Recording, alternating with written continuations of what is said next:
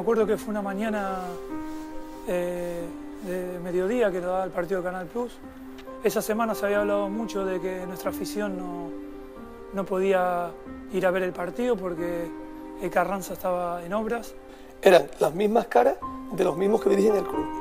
Los aficionados que yo veo en Chapín todos los domingos son los aficionados míticos jerezistas que yo veía en Chapín y en el Domé. Es que es exactamente el mismo jerezismo de siempre.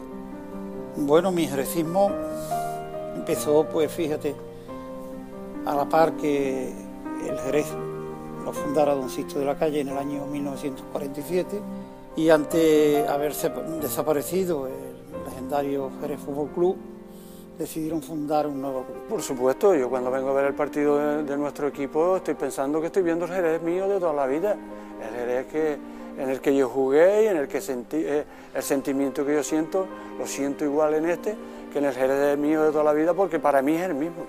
Las sensaciones vividas, la edad que me coge también hace 15 años, eh, vienen a ser prácticamente las mismas.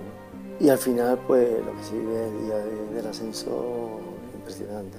Y justo golpeó el balón de tal fuerza que bueno, tengo la suerte de que, de que balón lo coge Armando un poco adelantado y entró bueno, casi en la escuadra. Y bueno, fue sacarme la camiseta y gritar el gol. Y bueno, fueron, me fui a festejarlos con ellos porque, porque bueno, son jerecistas y son los mismos jerecistas que veo ahora aquí en Chapín. Veo que, bueno, que el jerecismo eh, corre por sus venas como, como, ahora.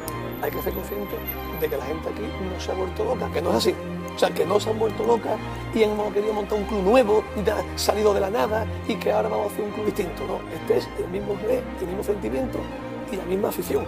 Que cuando hay algún problema son los primeros que dan la cara y no, no tanto conmigo en el, filial como este año aquí en en el club no nos dejan solos en ningún momento. El ascenso que se ha vivido el año pasado, con ocho mil y pico de personas en, el campo, alegría, el sentimiento que han, que han sentido, tienen que tener seguro mucho, mucho que ver. A mí me gustaría que me comprendieran y entendieran que ese Pérez Rendón, ese José Antonio, del año 47, es el mismo que después fue directivo, el mismo que se vinculó siempre a la Virgen de la Merced y el mismo que está actualmente luchando y defendiendo porque ese ejercicio continúe. En la iguala del Polo, en los marevistas, en el Domé, en Chapín. Desde pequeño mi sueño era estar donde estoy, al igual que de muchos jerezistas. Por eso tenemos que estar unidos, apoyarnos, porque entre otras cosas el jerezismo nos corre y me corre por la venas.